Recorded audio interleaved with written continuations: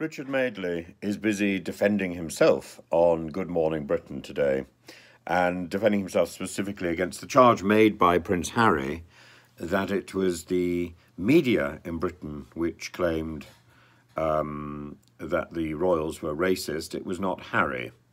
And the line of the media, of course, the entire media is, is lining up from the tabloid press through to the early morning breakfast present, uh, presenters to defend the British media from this allegation.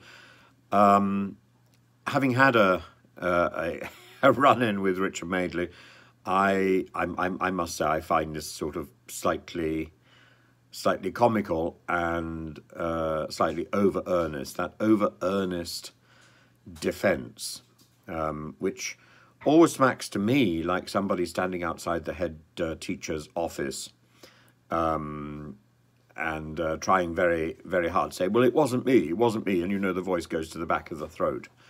Uh, that, I'm afraid, is Richard Madeley. So draw your own conclusion.